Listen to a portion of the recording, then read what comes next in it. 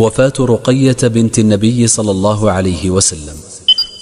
توفيت رقية بنت النبي صلى الله عليه وسلم رضي الله عنها بعد غزوة بدر الكبرى مباشرة.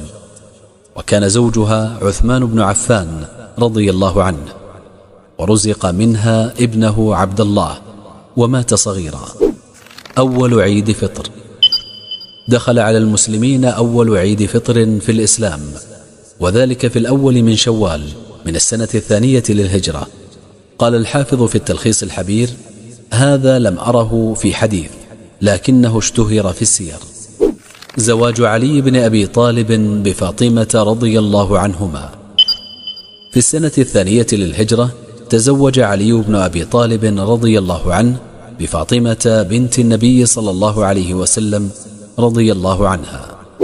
رزق علي بن أبي طالب من فاطمة الحسن والحسين ومحسنا وأم كلثوم وزينب.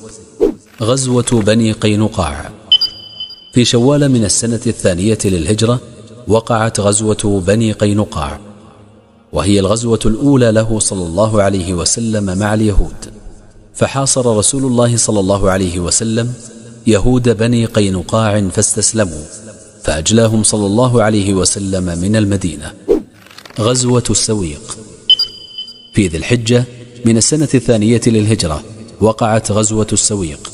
أغار أبو سفيان على المدينة فقتل رجلا من الأنصار فخرج له رسول الله صلى الله عليه وسلم في مئتي رجل ولم يدركه صلى الله عليه وسلم.